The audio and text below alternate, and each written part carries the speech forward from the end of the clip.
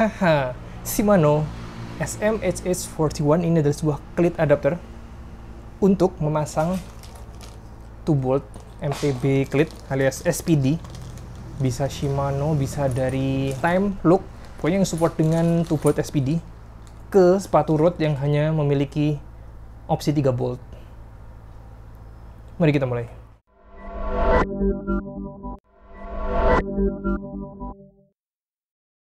Sebelum ke proses pemasangan, kita bicara terlebih dahulu seputar klit SPD ini yang biasa dipakai untuk MTB atau gravel bike juga bisa. Yang mana sudah ada sepatu khusus yang support untuk klit tersebut.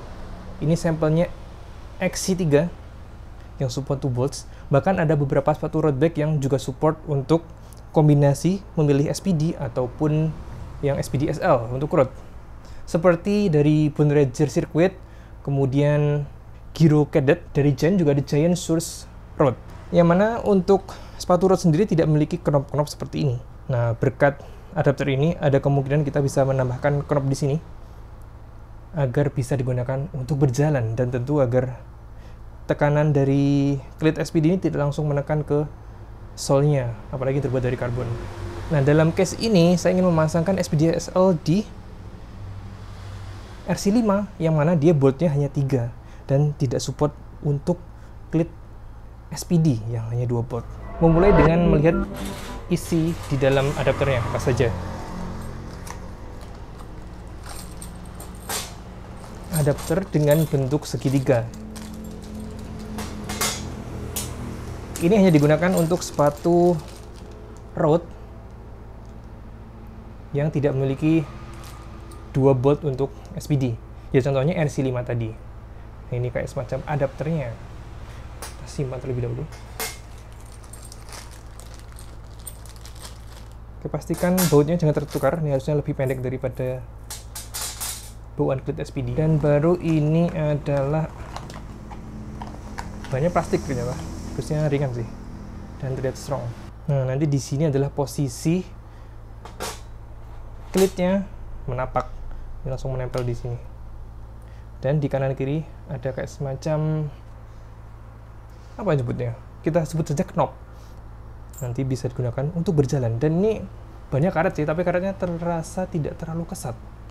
Oke, nanti kita tes untuk walking juga. Apakah aman dengan adapter ini? Mari mulai proses instalasinya. Dari adapter segitiga tadi, kita kan dapat beberapa bolt dan terlihat untuk ketinggian diameternya sama semua. Tapi ada kita hitung satu, dua, tiga. Ini ukuran lebih besar bagian ini ya. Kita sebut apa ini ya? Bagian payungnya. Yang bagian besar payungnya itu totalnya ada 6, yang mana dia akan dipasang di sisi-sisi ujung dari segitiga ini langsung saja kita praktekkan kita sisihkan terlebih dahulu mari bongkar dulu klit rootnya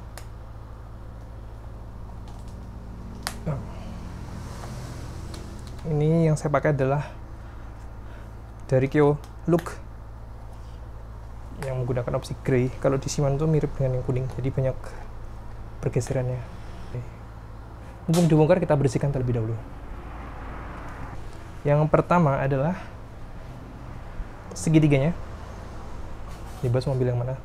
Nah jika dilihat dari samping ini ada ujung yang mengarah keluar. Nah ini berarti ke atas di posisinya seperti ini oke langsung pasang gunakan ukuran diameter payung yang besar. Dan ini hanya pasang di bagian sisi kanan dan kiri untuk bagian atas nanti.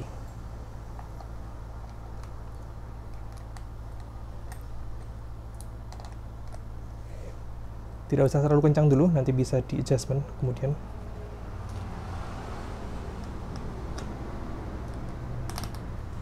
Oke, ini yang bikin sulit adalah untuk adjustment yang mana nanti kan ini akan tertutup dengan adapter yang plastik ini.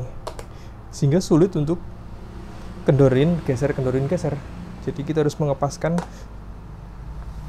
dengan proses yang mengulang-ulang lepas pasang lepas pasang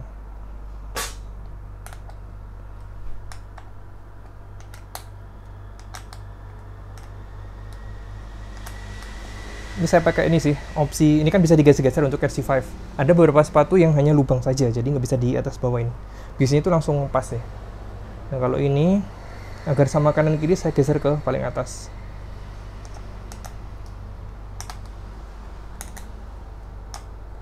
Ya kita gunakan simulasi aja ya kira-kira sudah pas untuk fittingnya.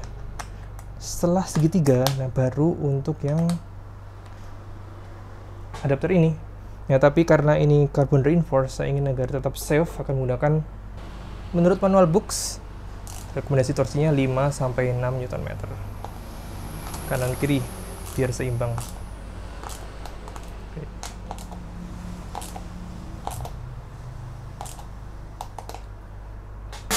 Setelah kencang, next adapter yang plastik ini. Ini kanan kiri sama,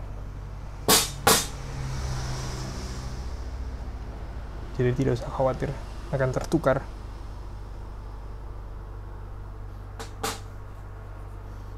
Cukup dipaskan untuk lubang atas dan lubang yang tengah ini. Ini untuk klip nah ini harusnya langsung pas.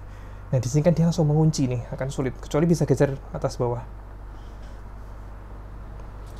Gunakan untuk diameter payung besar juga. Langsung kita kunci bagian atas dan mari kita mulai install Clit SPD-nya. Oke, install seperti biasa saja. Nah, untuk boltnya, jangan menggunakan opsi dari bawaan paket SPD. Ketika kemudian kan ada kayak macam boltnya. Kita pakai bolt yang bawaan dari adapternya yang lebih pendek. Nah, ini untuk menjaga agar tidak terlalu panjang dan menembus sol sepatu road kamu. Dan misal posisi adapter tadi kurang pas, nah di sini kan kita masih bisa melakukan micro adjustment bawaan dari SPD. Kanan, kiri, dan sedikit miring. Sedikit sekali miringnya. Nah, jika belum selesai kita bisa main-mainkan di sini sebelum bongkar pasang adapternya.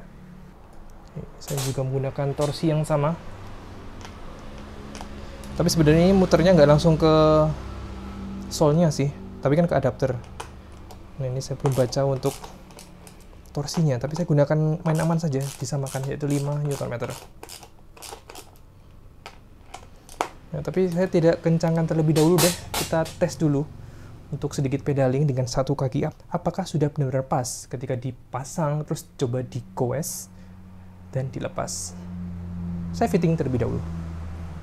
Mari kita cek dulu perbandingan berat dari klit rod milik Keoluk ini Keoluk Grey yang sudah terpakai seharusnya banyak yang sudah terkikis plus boltnya dibandingkan dengan paket adapter dan SPD clip.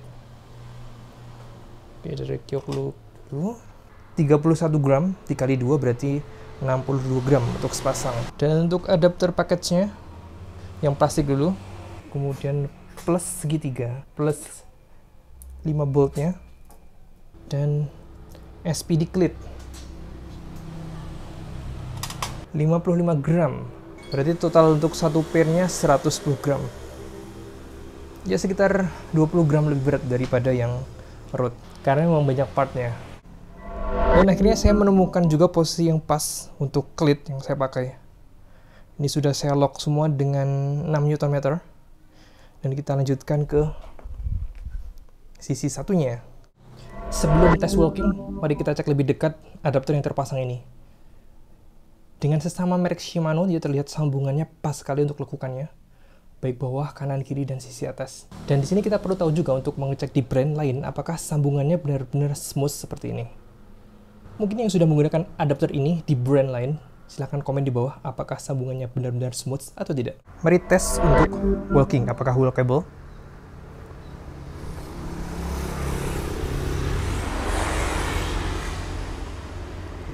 Dari sisi suara, dibandingkan dengan SPDSL ataupun Keoluk adapter ini berasa lebih smooth suaranya tidak ada suara keras sama sekali. Tapi dari ketinggiannya lebih tinggi daripada adapter untuk road sehingga dibiasakan saja untuk ketinggiannya. Dan mungkin ada sedikit adjustment untuk seat push. Dan karena tinggi ada kemungkinan untuk jatuh ke kanan ataupun ke kiri. Jika tidak hati-hati Berikut ada perbandingan dengan XC3 yang diciptakan untuk MTB atau gravel.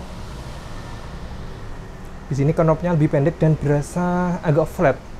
Bahkan jika kita miring sedikit, bisa delete bisa bertabrakan dengan pijakan kaki.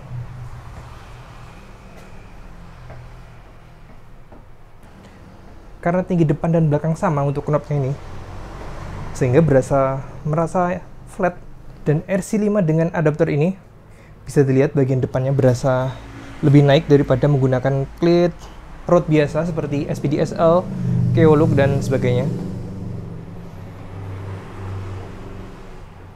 Tapi berkat karetnya suaranya jadi teredam sih.